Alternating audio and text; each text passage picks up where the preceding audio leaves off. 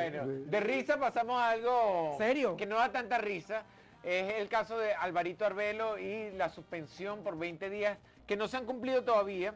Eh, a él lo suspendieron el día 11 de octubre por 20 días debido a las palabras que había dicho, palabras sí. ofensivas y también unos planteamientos bastante extraños que yo no sé, yo, yo lo dije, el señor está decrépito, pero bueno, Tú sabes que en contra de Juan Pablo Duarte. Yo creo que eso fue la quimio que le estaba haciendo. Sí, ayer hubo una audiencia para revocar esta sanción ¿Qué? de Álvaro Arbelo durar tantos días fuera de la radio. La Y le cual- dijeron, Descarado. y le No. dijeron, no. no, la cual fue ganada. No, mañana, mañana va a haber otra audiencia. Lo que pasa es que los del Instituto Duartiano están en contra de que favorecieron a Alvarito de retornar sus labores a la radio. Hoy es que 26. Hoy es 20 26, 26. le quedan Sí. cuánto, cuatro días. Algo. Alva- Alvarito, quédate esos cuatro días acostado en tu casa. Ay, ya. sí. Gané gastar No, dinero en menos. abogado. No, pero para la metida de pata que yo doy don Alvarito, como es- yo ni siquiera me atrevo a pelar.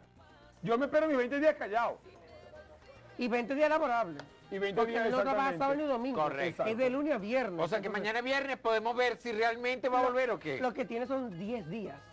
Se entiende que supuestamente mañana Ah, que regresaría a la laborables, radio. sábado y domingo. Él tiene Exacto. 10 días exactamente que tiene en esta sanción, pero se espera su retorno mañana a la radio. Hay que ver porque el Instituto Duartiano va a revocar esa sentencia. Ok.